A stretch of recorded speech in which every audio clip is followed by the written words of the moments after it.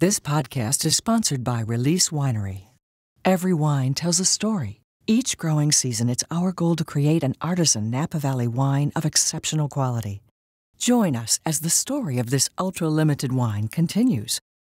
Learn more at releasewinery.com.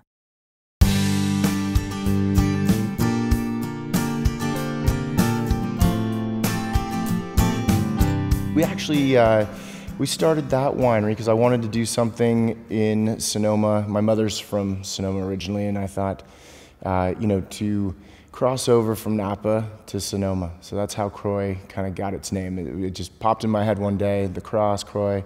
French varietals, Burgundies, uh, Chardonnay, Pinot Noir.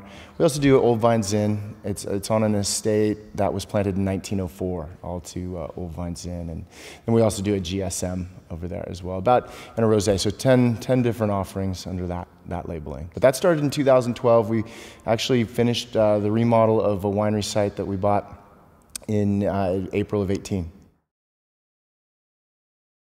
It's a beautiful site. Um, when I bought this property, it was in 2008, and it was the home where our tasting room is right now. That was re, you know, converted from a from a, a home to a tasting room. Uh, the winery was not here yet. We, where we're standing or sitting right now is was uh, vineyard. It was old vine AXR Cabernet Sauvignon, about 40 year old vines right here. So I had the vision though, if we took that, took these rows out and we built a, a nice long rectangle of a, of a building that um, we could make, make nice wine here. We have 10,000 square feet here and um, in, this, in this room, and it's kind of an interesting space because we come off of a hill that we're able to use kind of a gravity flow. We've got this mezzanine level, and then our cellar is about, sits about five feet, five and a half feet below. So it's a gravity flow winery. But um, you know, this is uh, you know when we designed when I designed this place with the architect, it had kind of this spaciousness in mind. You know, we we do stack we stack our barrels up a little higher and and. Uh, but we do also do some custom crush. So the three brands that are included in, in under the Venge roof line here are uh, Trespass, Jax, and Macauley. Macauley being my first client back from 2001. I, I do consult currently. I have about 12 different brands, and then the two wineries that uh, that I make. You're so a busy guy. It's yeah, it's busy, but it's fun. You know, this is what I you know you do. You know, it's you got to come back to do what you love, and I really believe uh, that it, you know helping people through the wine business and helping them navigate it, uh, making wines for other people. It's really it's a joy. I grew born and raised in Rutherford, so this is all I've known. You know, grew up in the vineyard and the winery, and uh, since uh, from a very young age, I always knew I wanted to be a winery owner and a winemaker, but winery owner.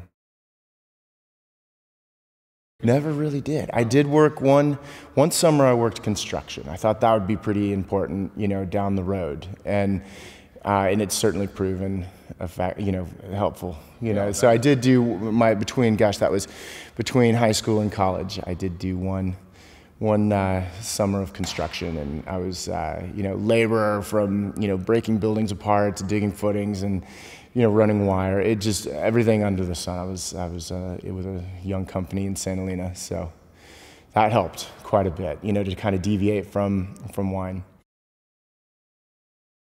Wine making started with, uh, you know, my earliest memories are when I was about four years old and we, I was at Saddleback with my dad, that's his wine brand, and we were, you know, working evenings because he was, uh, you know, he was winemaker for Villa Mount Eden back in the day, and around a basket press. We started this whole, this whole brand, Saddleback, Venge, uh, Croix Estate, everything stemmed from around a basket press. It was really uh, humble beginnings.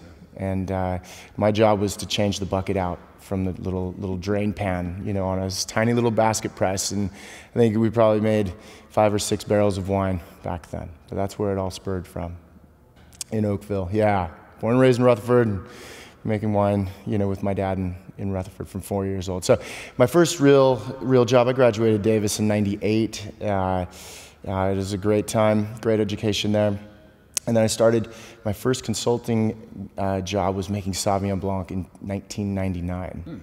for uh, a woman named Randy Riley. And uh, that was called Sugarloaf Crossing. It was over by Stony Hill And um, she had this small old vine uh, Sauvignon Blanc vineyard. And that was my first responsibility, you know, to, really? you know, organize that. Working with Saddleback, I was at Groth as well with my dad, and so those were always the these uh, kind of summer jobs. And but um, uh, going to work for Mumm under Greg Fowler, and then later Rob McNeil, those were great, great experiences. You reinvent yourself right? I think that's that's really where that all becomes that that that begins and ends. And so it's the reinvention of what do you do this year to improve upon last year? What do you do to keep it interesting? Because if you don't, I, I think this would apply to any any uh, you know career that you you do get to play that you know we do have a lot of environmental in you know impacts here. What kind of season this is going to be? This one's been a wet season in, in uh, 2019 but what what is it that uh, you know that nature gives you? How do you improve on it from the year before? What did you learn? And I think if you if you don't pay attention to those things you won't evolve. And this is a you know winemaking is an evolution. It's always learning. It's one of those those great occupations where you can build upon every year from the last. And, you know, we think outside of the box here with what what we can do, what can we do differently, what experiments on on what lots should we be paying attention to. You know, it's it's from yeast trials, cooperage trials, native yeast, malolactics, temperatures. Uh, these are all um, you know variables in in the lifespan of a, making a, a, bottle of wine. It all begins with a framework. It all starts with this, you know, before you even even get pruning, before you even you know start the first steps of winemaking, which is just walking the vineyard, looking looking at it this time of year or earlier even, you know, uh, to how's this going to all fit in that that framework of a bottle of wine. What am I going to be saying to people when I'm opening this at some event or show or wine dinner or in the tasting room? What, are, what am I going to be telling people and how was this, how did this all come to be? Whether it's Syrah, Cabernet, Merlot, white wine, doesn't matter.